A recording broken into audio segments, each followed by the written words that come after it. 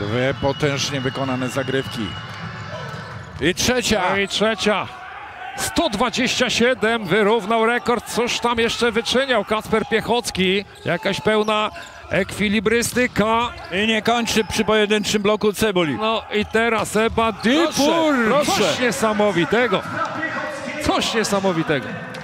No ale faktem jest, że mogła piłka zniknąć między No. tymi filarami, które tam s- są pod sufitem. No i teraz chyba to jest dyskutowane jeszcze, ale popatrzmy co tu się działo. Znakomicie reaguje e, Kacper, no to jest coś nie...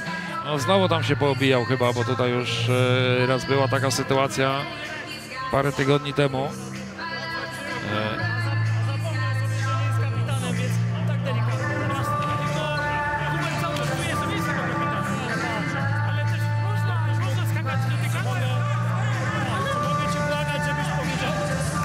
No popatrzmy raz jeszcze na tę akcję.